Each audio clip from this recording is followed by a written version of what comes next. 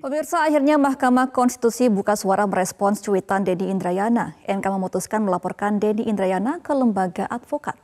Usai memutuskan menolak gugatan terhadap sistem pemilu sehingga pemilu 2024 tetap menggunakan proporsional terbuka, Mahkamah Konstitusi merespons Denny Indrayana yang mengaku mendapat bocoran bahwa MK akan mengembalikan pola pemungutan suara dari sistem terbuka menjadi tertutup Hadirin lewat uji materi Undang-Undang Pemilu. MK mengambil sikap tidak melaporkan Indeni Indrayana ke kepolisian, melainkan ke lembaga advokat. Juru bicara MK, Fajar Laksono menegaskan putusan terhadap uji materi Undang-Undang Pemilu belum ada saat Deni Indrayana mengunggah rumor hasil tersebut.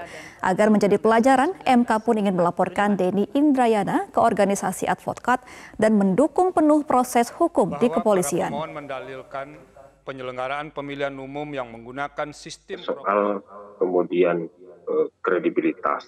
Ini menyangkut soal kepercayaan publik terhadap Mahkamah Konstitusi. Makanya tadi secara clear, ya secara clear eh, pernyataan Denny Indrayana itu kemudian terbataskan dengan sendirinya setelah kita melihat sequences, kita melihat kronologis bahwa putusan itu baru diambil pada 7 Juni tadi dikatakan begitu kan. Hmm. Artinya tanggal 28 itu belum ada pembahasan, belum ada apalagi putusan, pengambilan keputusan kan begitu. Nah ini Mahkamah Konstitusi merasa perlu untuk mengklirkan ini supaya eh, betul-betul uh, uh, proses penyelesaian perkara ini betul-betul dalam posisi yang seharusnya.